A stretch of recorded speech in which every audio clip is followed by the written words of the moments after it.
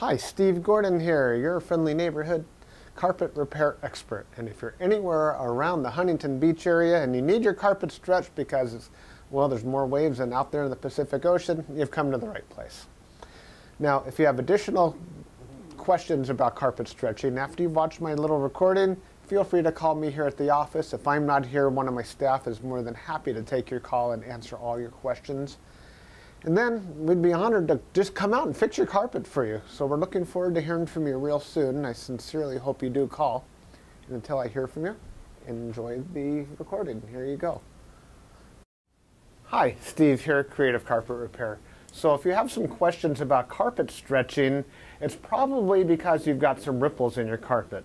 You can call them waves or bumps or bulges but for one reason or another, you're looking at your carpet and you see that it goes like this. You might just have one, one ripple right down the middle. You, there could be waves and ripples all over your carpet.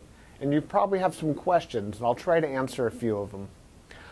One question people ask is, how did this happen? Why is my carpet doing this? And the answer is more than likely that it wasn't stretched in properly to begin with. You see, what we use for carpet stretching is a power stretcher. If we use a power stretcher, we can stretch the carpet so tight that it'll never come up again. You see, a power stretcher butts up against one wall, it goes all the way across the room, and it um, has a head on the other side.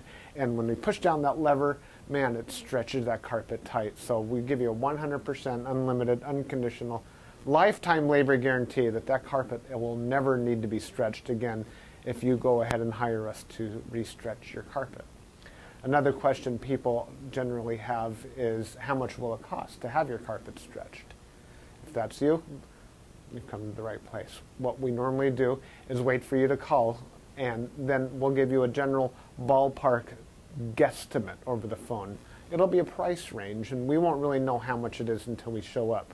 But some factors that might contribute to whether or not it'll be more or less expensive would be certainly the size of the room or the rooms.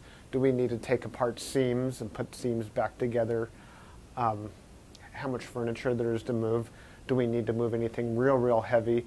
Um, maybe there's a piano or a pool table or up or downstairs, that sort of thing. So give us a call here. We can come on out and give you that absolutely free, no obligation bid.